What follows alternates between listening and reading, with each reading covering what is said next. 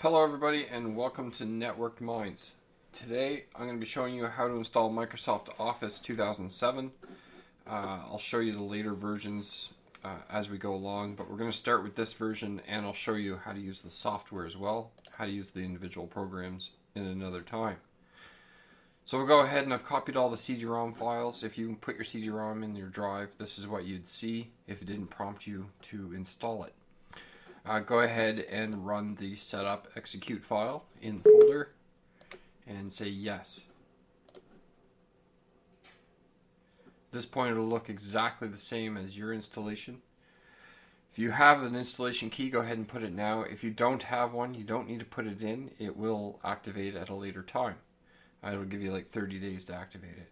So I'll go ahead and put mine in here.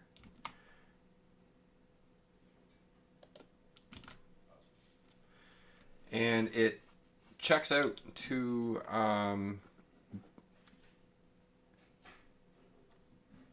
Okay, and if you get this check mark here beside it means your key checks out to be all right, and we'll go ahead and hit continue.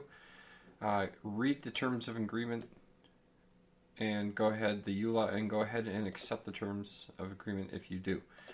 We'll continue. Now for Microsoft Office installation, I like to use a customized option.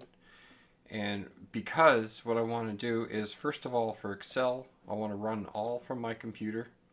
From Microsoft Access, the same, run all from my computer. Microsoft Groove, I don't want that on my computer at all. InfoPath, same, I don't want it on my computer.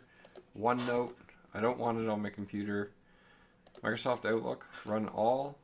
PowerPoint, well, let's run all from my computer, and that should be good enough. Publisher as well.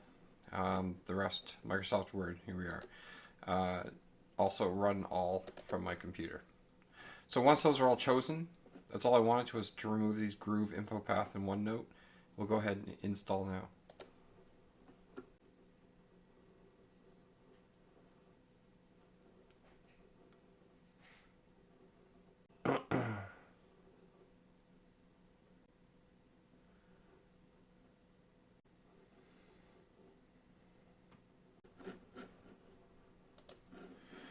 Okay, perfect. So the Office installation is complete. we can go ahead and close this off. And just to verify that it works, let's go ahead and go to the start start button, all programs, Microsoft Office, and you can see they're installed here.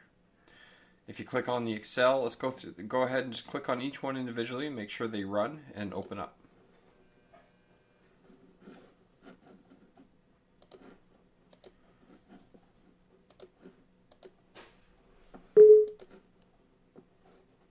Also, just uh, accepted to have Microsoft updates automatically update my Microsoft Office. It's just a good option.